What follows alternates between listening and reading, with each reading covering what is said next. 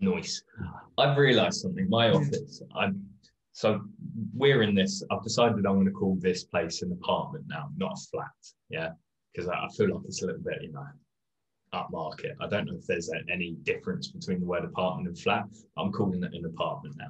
Anyway, in this apartment, we um, we've got by far the biggest one. It's at the top. We've got the roof terrace, and our apartment covers two or three apartments. So our our one is And you've got, you've got a beautiful view over Portsmouth as well, haven't you? Why, why are you laughing at that? No reason, mate. I'm just in a good mood. Carry on.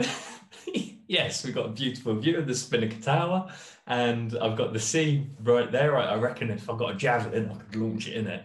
Anyway, point being is ours spans two or three other flats, so ours is considerably larger, and I've got an office, and I think my office is above their bedroom. Because when I first moved in, I heard lots of giggling and stuff during the day uh, when I was in my office. And now, Oh, whenever it comes to podcast time, it's dead silence. Like they must be able to hear me. And they just like we can't go in the bedroom between four and five now because all we can hear is that silly cunt upstairs shouting. Who have you got living downstairs then? A young couple or something? Yeah, young couple. Not, it's not a couple of blokes or anything, gay blokes, you know. No, no, no. I, I, I You don't hear the you don't hear the squelching of meat and shit. No. no, there's no no hide the sausage going on. But if there was, yeah, I'd have no problem with that.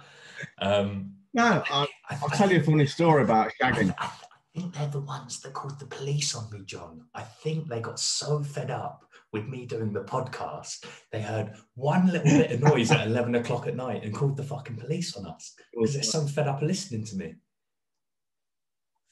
a few years ago, Sarah and I went to the town called Bantry, right down on the peninsula. Beautiful place. And there's a fairly high-end country house there called Rolf's. Well, I can't know the, the country house is called something something country house, and the restaurant is called Rolf's. Fucking superb food. Um, so we stayed there, and for some reason there was only us, me and Sarah, and another couple staying in the entire place. I don't know why this was.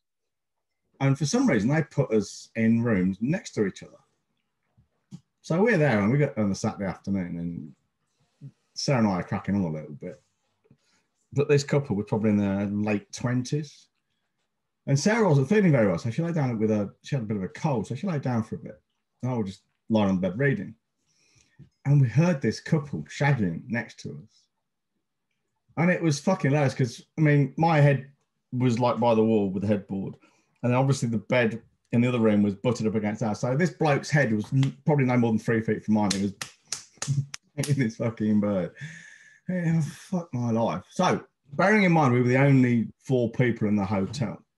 So that evening we got down to the restaurant. There was me and Sarah. Um, there was a couple. There were a few other couples in there, old couples who'd just come in for, for food. They didn't. They weren't staying. And of course, this young couple get escorted down, or escorted to their table. They clock me and Sarah, and they've seen us in the corridor. They realise in one horrible moment, they knew what I was grinning at. And the fucking girl, she was went bright red, and the, the guy didn't know where to look, at, I don't think. And of course, they're in our full view for the whole meal. They didn't last very long. I didn't stay very long. I must have been so embarrassed because we were sitting there thinking, I know, we know what you were doing. And of course, Sarah and I don't give a shit about anything like that, but these people clearly did. And I started making references to fucking hiding the sausage at dinner time and things, you know, as you do.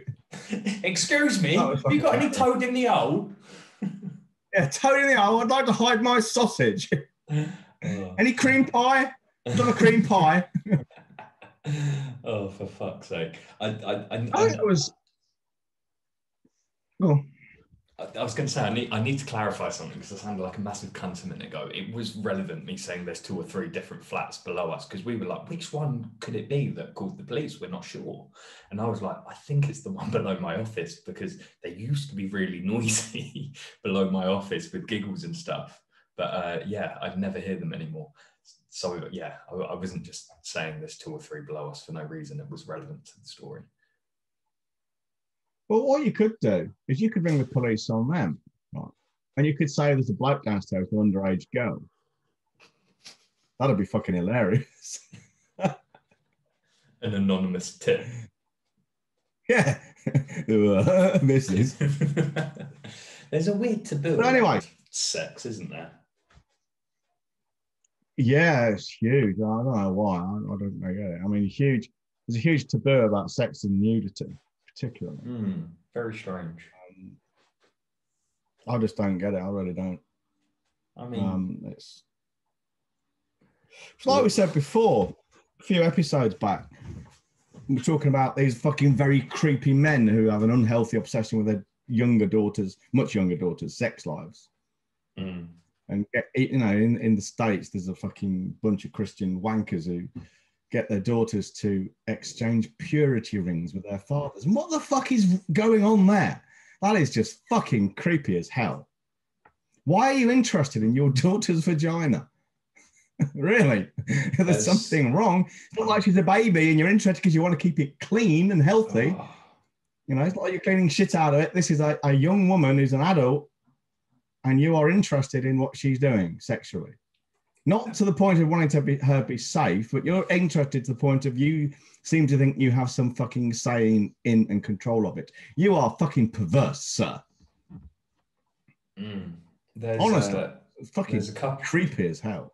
There's a couple of celebrities that uh, can't remember their names. Uh, one's a singer and one's a rapper, I believe, and uh, they they got exposed for taking their under. I can't remember the age of their children, but they were both under sixteen. Uh, to one of those gynecologists to check if their hymen was intact. Jesus Christ. Well, that's not going to fuck up a young girl, is it? I know. How crazy is that? I mean, never mind the intrusiveness of it, and never mind that a gynecologist should not be doing it. It's a gross invasion of privacy. He's not given, Um, I'm sure, properly for certainly coercion going on. But what the fuck is wrong with the fucking parents, man? Seriously. It's Jeez. awful. Anyway,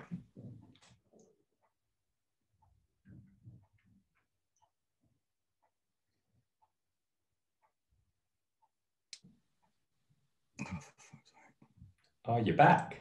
I'm back. What was the You're last thing I said? Anyway. Anyway, today is the day. Today is the day we hear about the long overdue death, in some people's opinions, of Prince Philip. I've had so many fucking memes in my WhatsApp channels. It's unreal. The funniest one is, is the screenshot of someone's Tinder profile with Elizabeth um, then imposed on it, saying sexy and single and ready to swing. Which I thought was most disrespectful but fucking hilarious. kind of puts your queen shitting on the toilet to into shame, doesn't it? Really? Oh my god. That's a story I'll never forget. Even when I'm an old man. That was hilarious. That was. Death I remember thinking in my head in my hands, thinking, Connor, what have you done? You're gonna get my business partner, you're gonna get yourself killed now. fucking funny though. But oh, all oh, mouth, absolutely. all fucking mouth. Not not one cunt turned up. Yeah, that my address was listed. Yeah, if they wanted it, I'd have stabbed the fucker. Well, the thing is, what is wrong again? What is wrong with people? They, they're threatening, threatening to get violent because you post something they don't like about a woman that they respect for no fucking good reason. She was born into the lucky fucking sperm club. And I didn't even say anything offensive. I didn't think. I said You didn't say anything offensive. No, you just posted a really offensive picture. Is that an offensive picture though?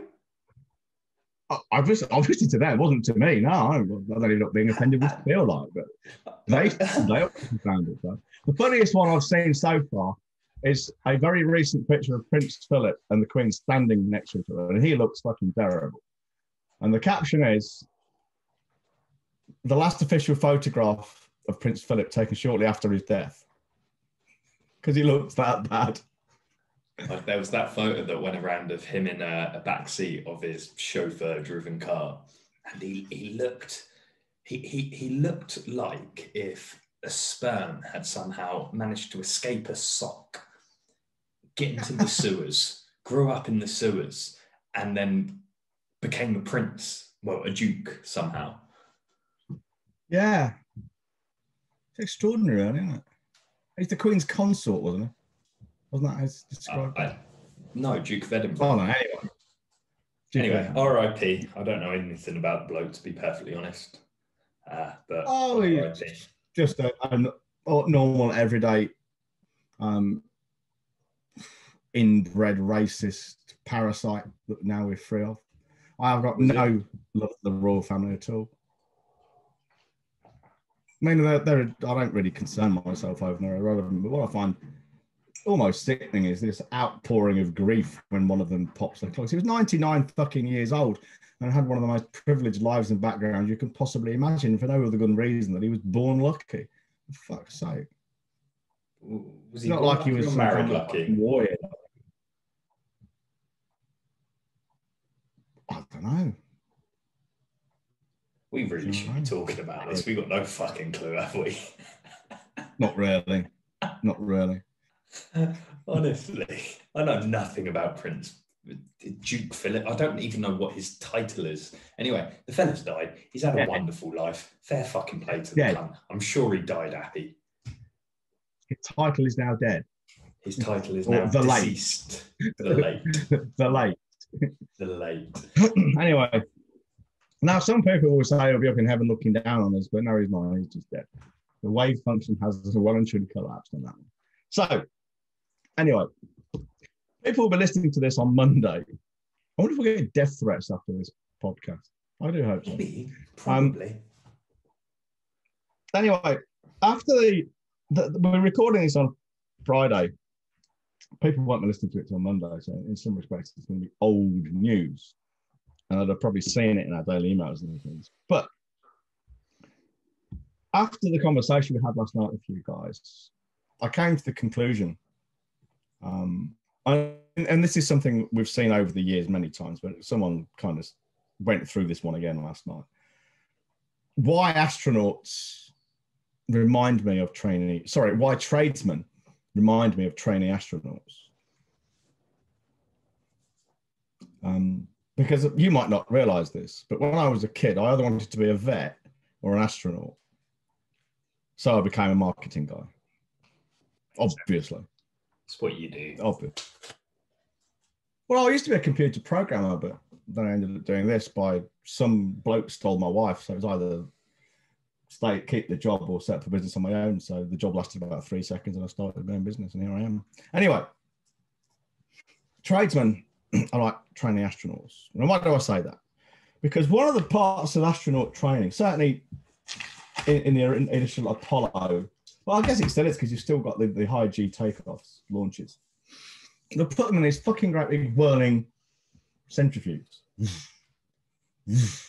to accustom them to very high G forces. Now, there's only a certain amount of acclimatization you can do because you get to a certain G force when the blood rolls, come, literally falls out of your head and you just pass out anoxia. Now, there are G suits that you can wear which compress your body to keep the blood in your head, and that's effectively what they do. That's the premise film. But you can acclimatize to it somewhat, and that's what they do. They want to know if you're going to faint early, to know what your limits are, if things break, etc., etc. So put them in this centrifuge, and of course, once you're in a centrifuge and you're going at about three G, yeah, there's not a lot you can do. You're stuck there, and if if you keep going, you will die and you get to a point when you can't even say move your thumb or your finger enough to turn the thing off. At which point you're stuck in this revolving thing like a fucking washing machine going round, you know. And the only way to get out of it is for someone to break the cycle for you. Now you might be thinking, I mean, you know where I'm going with this, I guess, but the, the listeners might be thinking, John, what the fuck are you on? Are you drunk again? but I'm not. No. But the fact remains, the guys we spoke to last night, one in particular, Um, no, I want to identify him because we just don't do that. But you know, no disgrace to him because he's just one among thousands, possibly hundreds of thousands. And he's he owns a business. He's got a great reputation.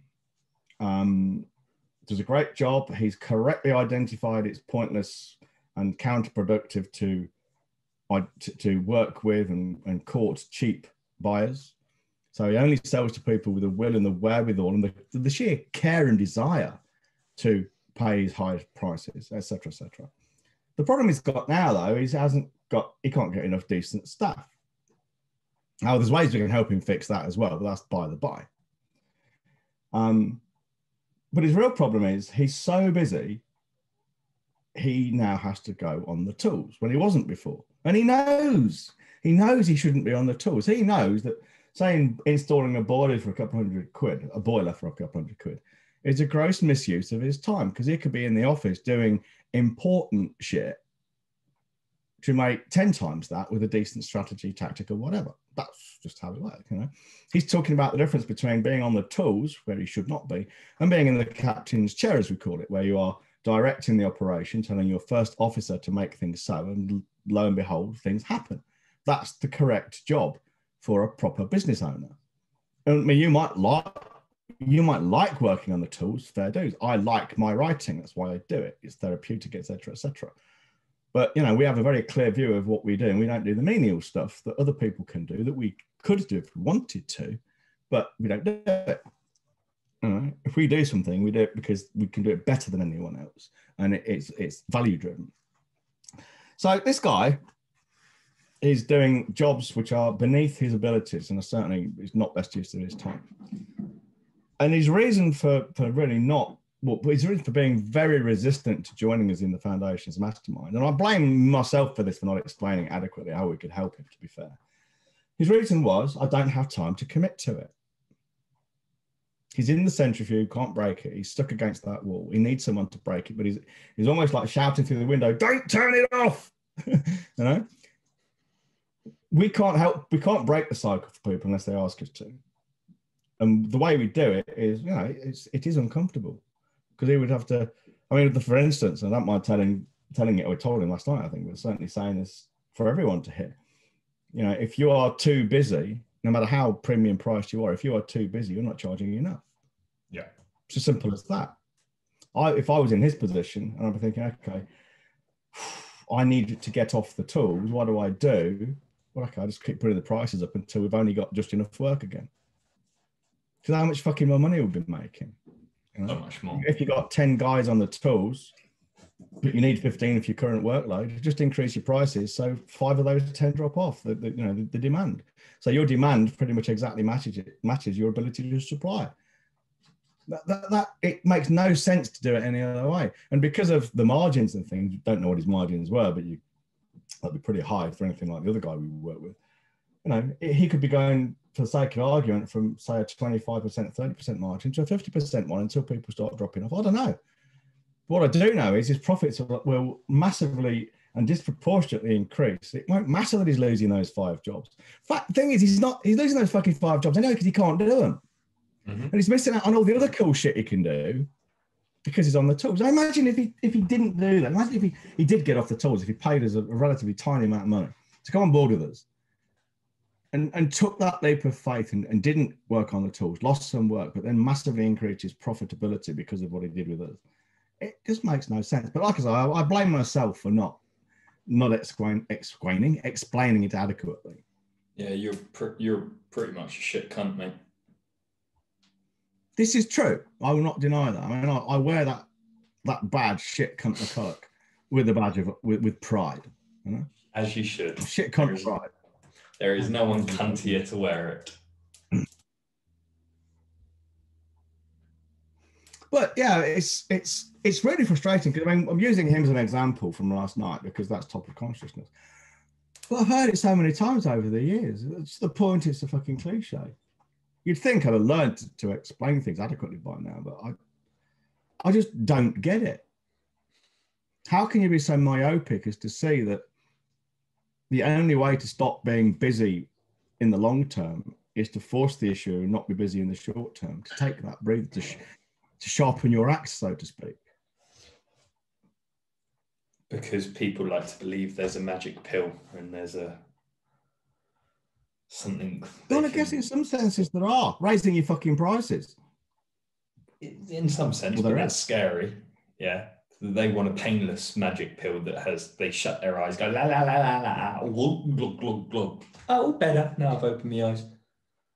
No, I think it's more complex than that. I really do. I Because that, that would be your someone shit. who's, who's that would be someone who's in denial and, and maybe maybe not particularly bright. But the guy last night, he wasn't stupid by any means. I mean, he's, he's No, built he a superb business. I mean, he's of my age group. He's built a superb business. He's been premium selling for at least 18 years. He knows what he's fucking doing. He ain't stupid. No. Uh, It is an emotional reaction, I think. It's, it's not a considered one because logic dictates. So if I just stop, and the worst of it is, of course, the worst of it is doing our shit. Maybe in the first week, you're looking at an hour a day for the first five, ten days, possibly. Maybe even less than that. But after that, you could do it in half an hour a day. I mean, our new 90 cubed thing coming out on May the 3rd is going to be 90 things to do over 90 days based on a 90 second video with an accompanying worksheet. And the, the limit we put on ourselves is these have got to be done. You've got to be able to do every single one of these within 30 minutes. Yeah.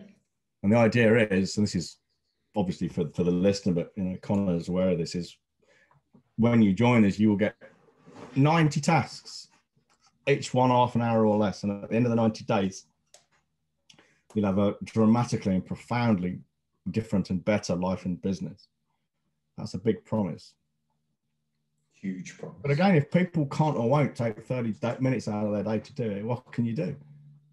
Seriously, what can you do? And I don't believe anyone cannot get up 30 minutes earlier, go to bed 30 minutes later, spend 30 minutes less time watching the TV. I, I, I just, I'm speechless. I don't get it.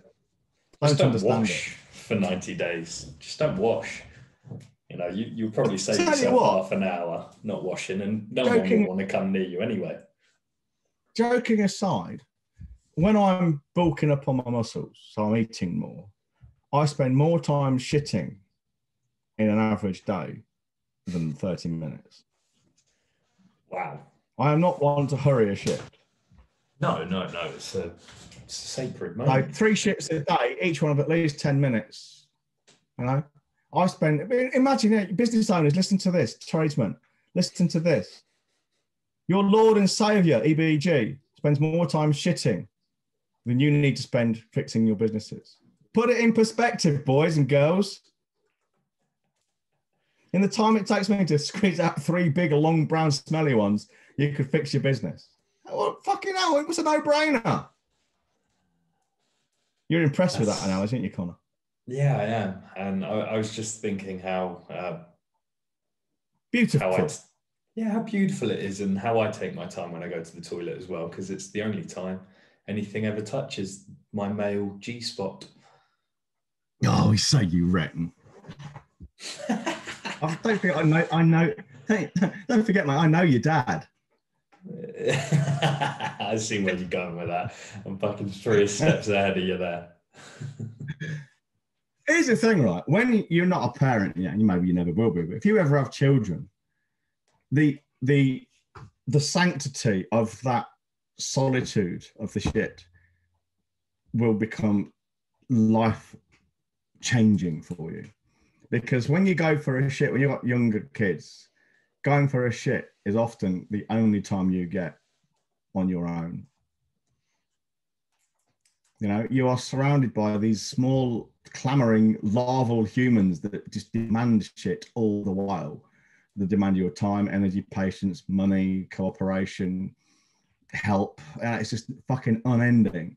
And the only time, the only, only fucking time you can say, no, fuck off, is when you're in that bathroom, door locked, evacuating your bowels you will install an entire fucking library, video suite, cinematic fucking surround sound in your bathroom because it becomes your little private fucking uh, oasis of tranquility, calm, and being left the fuck aloneness.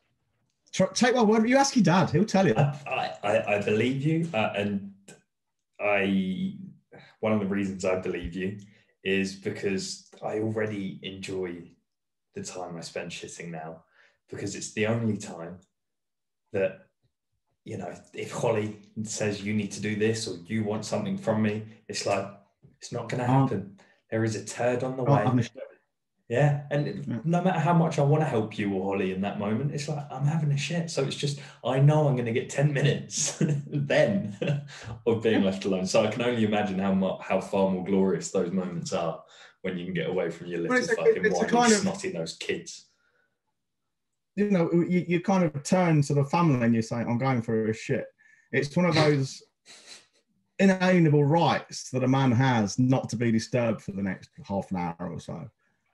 I, Uh, it's- it's- you, can imagine in a film, you, you draw yourself up to your full height, which in my case isn't very tall, I know. But you draw yourself to your full height and you, you square your shoulders and puff up your chest. You go, I'm going for a shit.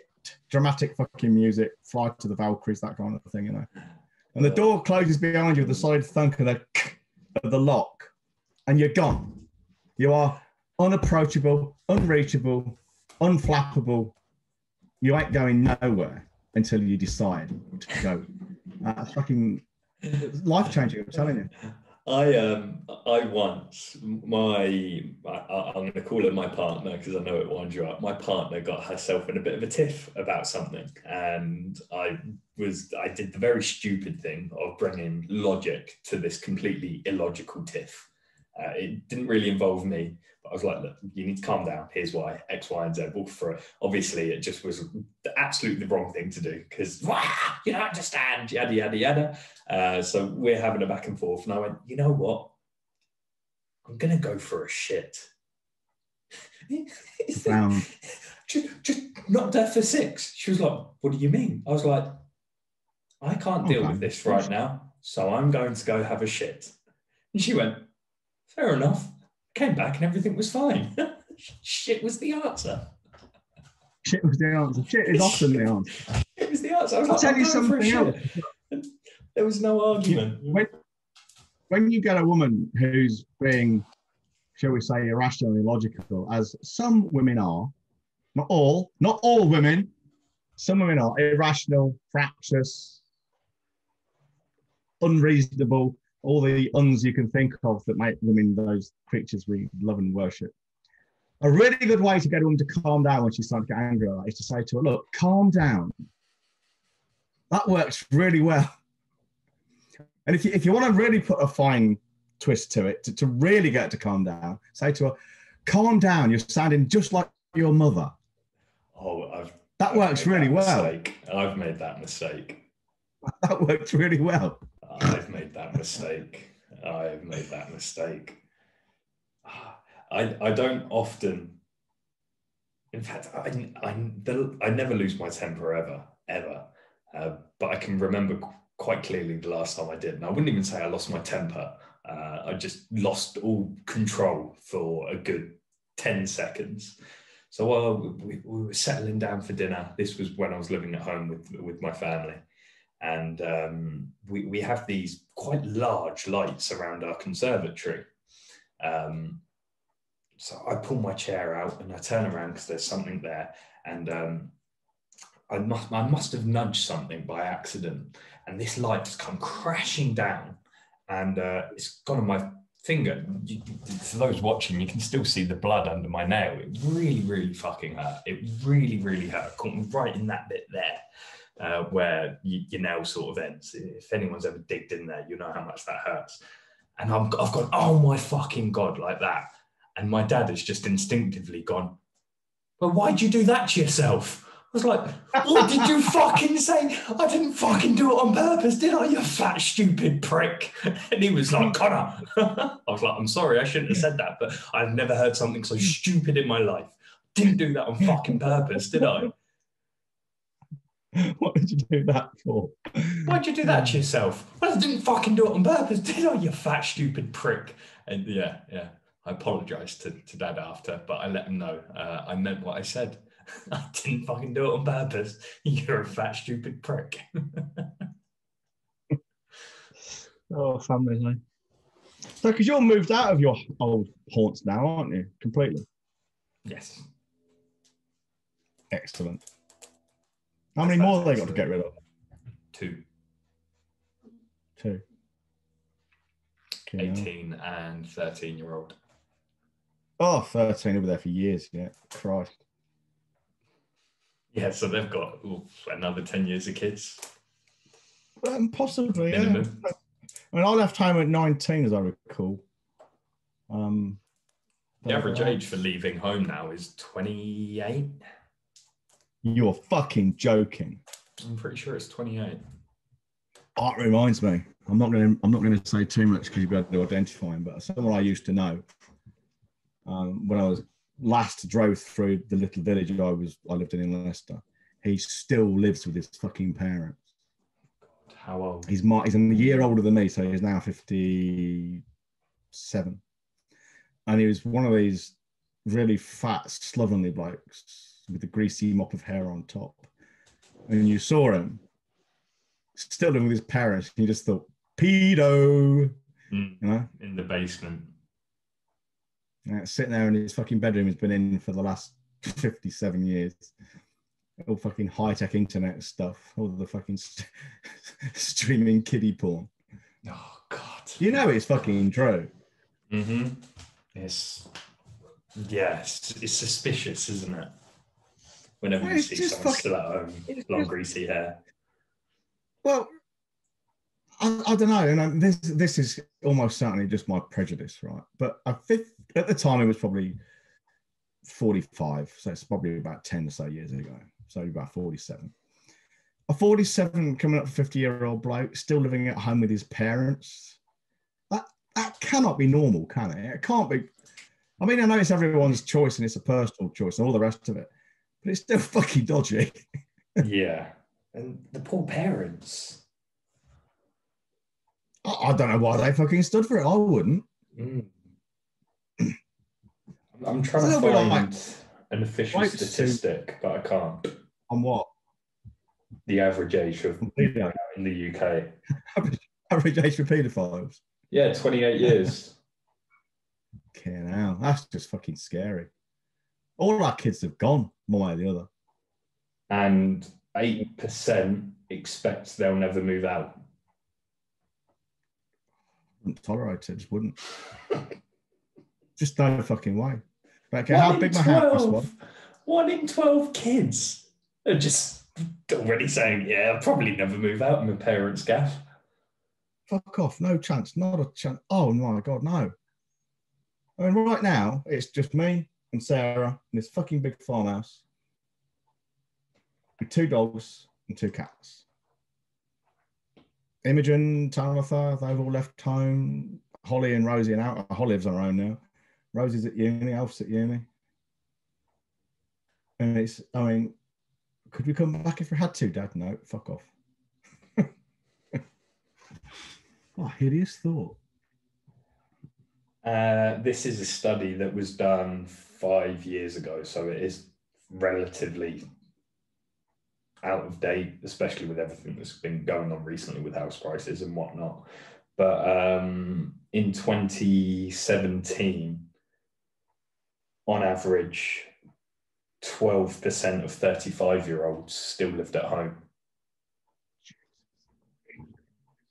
I I get it. If, if say you're you're married and you have some kind of life crisis, divorce, you know, shit happens, and it's nice to know you. I mean, I, I, I was joking, really. I mean, if my kids need to come back here, of course they bloody could. Yeah. I even said you could if you had to, if you remember during the vaccine. Yeah. Shit, remember? hmm Yeah, never forget it. But but never leaving home, choosing to stay tied to your parents' fucking apron strings. What uh, that doesn't say anything nice. That to me doesn't say anything appealing about a man at all. No. It doesn't make me want to trust him, particularly like him, go into business with him, No, no, it says a respect lot. him, for, respect him for standing on his own two feet. All those things, they're just not there. You know, again, it's, perhaps it's just my petty prejudices. I don't know. No, not at all. I think it says a lot. I think it says a lot. You'd rather fucking be coddled at home by presumably your mother who will still do your washing, your cooking, your cleaning. Oh, we're talking very stereotypically that I'd imagine that is if if it's we're talking about a man that wants to stay at home, he has all of those services available to him from his own mother, and he doesn't see anything wrong with it, uh, which says a lot about the person's mentality. I know. I'm, I'm really struggling to get my head around that idea. You know. I mean, I, I, I just can't. I can't even. These are the same sort of people that cry for socialism and everybody should be given money for living and everybody should be given a, a, a house for breathing. Yeah, you're not far wrong there. I mean, I don't even like being looked after. I, mean, I, I, I don't expect. I mean, I do all the cooking. Um, Sarah tends to be the one who, who does the washing and stuff, but I do the cooking. Uh, do a fair share of the cleaning. I just just don't like being looked after. It's not anyone else's responsibility to. I'm the worst person ever if I'm ill because I fucking hate being looked after. I just don't like it at all. Yeah, I was always an awful alone. patient. I was in hospital. I was fucking 12 years old and I was telling the nurses to leave me alone and go and help someone who needed it after. Yeah, I was, I was literally the same. I had, I had part of my hip cut off and replaced with metal and f- fake bone. And I was like, I'm fine, leave me alone. brain hanging out the eye socket. I'm fine. It's just just the skin, Oh. the scratch. And then I had eye Anyway, surgery when I was fucking. No, I want to say one more thing about my eye surgery. I had eye surgery, and uh, I woke up, and uh, shortly after waking up from the surgery, um, they allowed my mum to come in. I was like, "What are you doing here, mum? I'm perfectly fine. Leave me alone. I, I just want to sleep anyway." And she she was like, "Oh, the doctors say you can't sleep." I was like, "Well, all right then." Um, I don't want to talk to you though. I just want to sit here. I, I need some water. Um, and she's like, "Yeah, the nurse will bring you water soon." I'm like, "That, that that's great." And um, all of a sudden, I was like, wiping my face, and my hand's just covered in red. My eye is just pouring with red liquid, and my mum's fucking freaked the fuck out. Oh my god! Oh my god! It wasn't blood, but it looked exactly like blood. Just this red liquid flowing down my cheeks she went, she started going, Doctor, I need a doctor. I went, Mum, we don't need a doctor. Just give me some paper towels. Yeah. All right, don't maybe- don't maybe it's- bother maybe- the poor bloke. Maybe it's a bloke thing, but we, we tend to, we seem to be quite. Is resilient the right word? About these things? Stupid. Not all, It's completely stupid. not all men, but It's completely stupid. fucking flesh wound. There- There's a fine balance here. Like we should be accepting the help, and we are fucking stupid for just flat out turning it down, just being stubborn old men. When our lives would be a lot easier if we just said yes to that cheese toasty and staying in bed all day. I got a point. I, I, I must admit, I am enjoying my transition into being a grumpy old man. don't know, I fucking know it.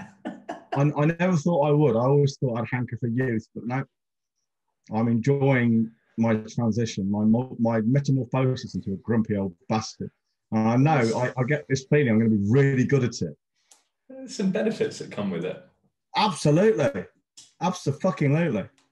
I, I'm going to enjoy the twilight of my life. I'm telling you. What are we get running a fucking marketing company? We we should just fucking start a TV show where we sit here and just chat shit about life because that's all we've done. We spoke about business for five minutes. This has been going on for oh, Half 40 minutes now. Yeah. All right, that was wind it, wind it up then. So, anyway, if you want to make more money, less work, less hassle for your headaches by attracting better clients, selling for the high prices, and having them delivered to you from a pipeline which itself is filled hands off and on autopilot without your too much of your intervention, then go to ottpodcast.co.uk and avail yourself of our free resources. In the meantime, stay safe, stay inside, wash your hands, love this fluffy bunny old man and do not shit on your fingers. See you later. Ciao for now.